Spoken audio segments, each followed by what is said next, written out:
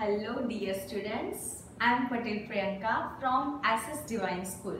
Today I am going to talk about subject biology, standard 12 and chapter number 2. Second chapter में हमने पहले session में देख लिया था फ्लावर का स्ट्रक्चर एंड पोलन ग्रेन का स्ट्रक्चर उन दोनों का स्ट्रक्चर डियर स्टूडेंट हमने पहले सेशन में देख लिया आज के सेशन में आफ्टर लॉन्ग टाइम आज के सेशन में हम देखेंगे पोलिनेशन के बारे में। What do you mean by pollination उसकी डेफिनेशन क्या है? पोलिनेशन के टाइप्स कितने हैं? कौन कौन से एजेंट्स होते हैं जो रिस्पॉन्सिबल है पोलिनेशन प्रोसेस के लिए? तो सबसे पहले dear student what is pollination तो आप ध्यान से सुनना हाँ students the process of transfer of pollen grain from anther to the stigma I repeat the process of transfer of pollen grains जो लास्ट टाइम हमने देखा था पोलन ग्रेन का स्ट्रक्चर पोलन ग्रेन का ट्रांसफ़र हो रहा है इधर कहाँ से कहाँ anther to the stigma this process is known as pollination there are two types of pollination dear students self pollination and cross pollination in self pollination it is subdivided into two parts autogamy and geitonogamy. First of all, what is the basic difference between self-pollination and cross-pollination? ध्यान से सुनना. Transfer of pollen grain from anther to stigma of same flower of the same plant. यहाँ पे plant भी same है और flower भी same है एक ही प्लांट है एक ही फ्लावर है दैट इज़ सेल्फ पोलिनेशन उसके अंदर जो एटोगैमी है, उसके अंदर इस तरह का होता है। क्लियर क्रॉस में क्या होता है? दोनों प्लांट्स ही अलग है, दोनों फ्लावर्स भी डिफरेंट है।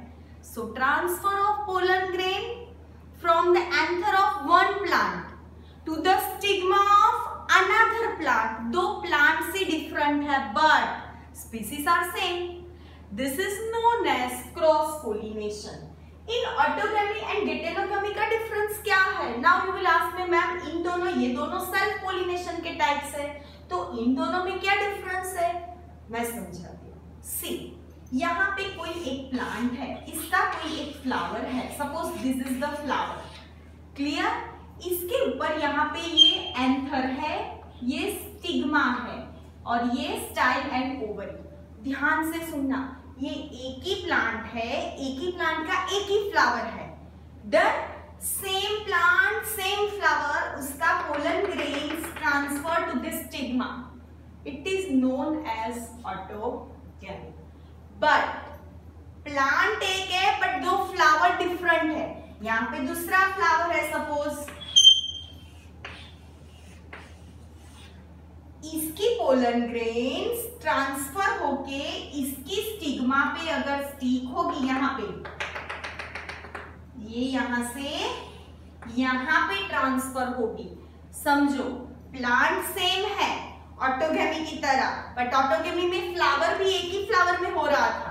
यहाँ पे दो फ्लावर डिफरेंट है। So transfer of pollen grain from anther to stigma of second flower या different flower of the same plant This is known as heterogamy. Autogamy process, it is adaptation उसके लिए दो adaptation. It produce two types of flower. Cleistogamous flower and chasmoglamous flower.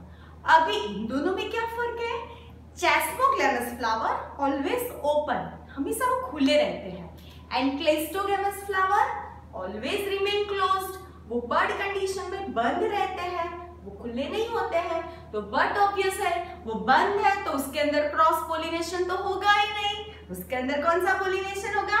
Self pollination तो यहाँ पे मैंने लिखा है cleistogamous and chasmogamous cleistogamous means which do not open chasmogamous means which remain open हाँ अभी दूसरा क्रॉस है. क्रॉस उसको हम जीनोगेमी भी बोलते हैं। जीनो एक्स आप दिख रहे हो? एक्स यानी क्रॉस तो इस तरह से आपको याद रखना कि जीनोगेमी मींस क्रॉस पोलिनेशन उसका दूसरा नाम एलोगेमी भी उसको कहते हैं। यहाँ पे दो प्लांट्स ही डिफरेंट है, दो फ्लावर्स भी डिफरेंट है बट स्पीसीज सेम है। क्लियर डियर स्टूडेंट्स ये मैंने आपको पोलिनेशन का डेफिनेशन समझाया। उसके बाद हमने टाइप्स देखे। अभी ये गैमी जो वर्ड है, गैमी, ये यहाँ पे देखो ऑटोगैमी वर्ड को आप स्प्लिट करो तो इजी रहेगा समझने में। Auto means self then gamy means fusion of gametes gametes male and female है ना? यहाँ पे प्लांट्स की बात कर रहे हैं तो कौन सा आएगा? एंथर एंड स्टिग्मा उन दोनों का फ्यूजन होता है। तो auto means self and gamy means fusion तो इसके बारे में हमने पढ़ा। अभी जब क्रॉस पोलिनेशन की बात आती है तो उसके लिए डियर स्टूडेंट्स एजेंट्स चाहिए हमें पोलिनेटर्स चाहिए। उसके बिना पोलिनेशन होगा नहीं। तो कौन कौन से एजेंट्स है कौन कौन से पोलिनेटर्स है जो पोलिनेशन प्रोसेस में इन्वॉल्व है? या तो वो विंड से हो सकता है, या तो वाटर से हो सकता है, या तो इंसेक्ट या बर्ड या एनिमल्स ये पाँच जो मैं बोली आई रिपीट करती हूँ फिर से मैं insect birds animals water and wind तो agents dear student two types के होते हैं biotic and abiotic biotic means living abiotic means non living तो आप देख सकते हो अबायोटिक नॉन लिविंग उसके अंदर मैंने बोला विंड एंड वाटर जो नॉन लिविंग है बायोटिक उसके अंदर आएगा बर्ड्स आएगा इंसेक्ट आएगा एनिमल्स आएगा. सबसे पहले हम विंड वाला देखेंगे. The pollination done by wind wind से जो पोलिनेशन होता है, उसको बोलते हैं एनिमोफिली क्या बोलते हैं डियर स्टूडेंट्स एनिमोफिली तो उसके लिए सब कैरेक्टर्स तो होंगे ना? विंड से होता है कॉटन में होता है ऐसा. कॉटन उसके बाद वो कॉन कॉब होता है, इन सब में विंड से होता है। तो उसकी जो पोलन ग्रेन्स होगी, वो ड्राई होगी नॉन स्टिकी होगी लाइट वेटेड होगी, कि इजीली वो विंड करंट में उड़ सके। आई रिपीट कैरेक्टर कौन कौन से है? पोलन ग्रेन्स नॉन स्टिकी होगी ड्राई एंड लाइट वेटेड होगी।